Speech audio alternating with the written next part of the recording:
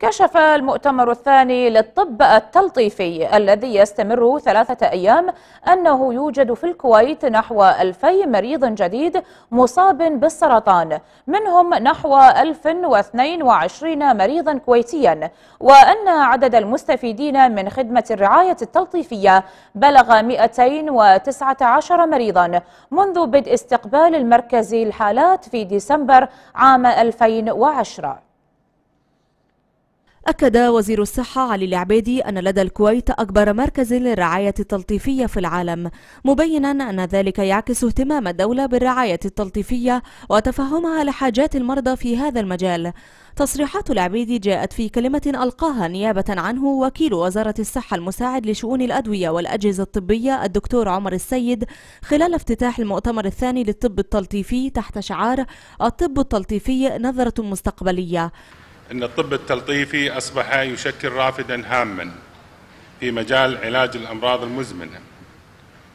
وأن مؤتمر الطب التلطيفي هذا يعقد في فترة هامة. كون أن اجتماعات منظمة الصحة العالمية القادمة سوف تناقش أهمية الطب التلطيفي وتطوراته.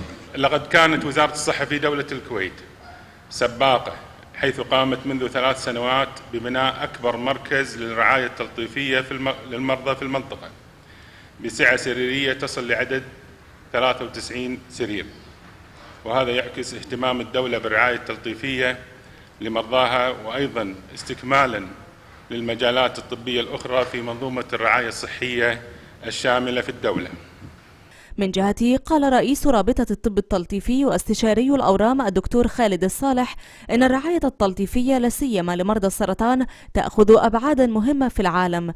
لافتا إلى أن مستشفى مايو كلينيك في الولايات المتحدة تؤكد أن إدخال الرعاية التلطيفية مع مرضى السرطان يحسن من نوعية حياتهم. بل إن جميع دول العالم توحدت واتفقت في عام 2009 على أن تجعل الأمراض المزمنة هدفا استراتيجيا لدول العالم.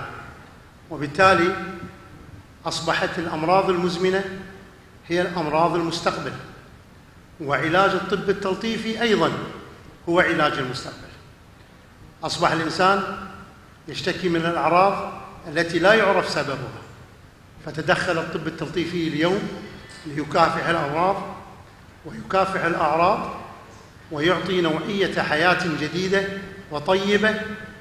المؤتمر الذي يستمر ثلاثة أيام يشارك فيه 16 استشاريا من خارج دولة الكويت إضافة إلى استشاريين من الكويت كما أنه سيناقش أيضا الرعاية النفسية والروحية وأخلاقيات التعامل في مجال الرعاية التلطيفية.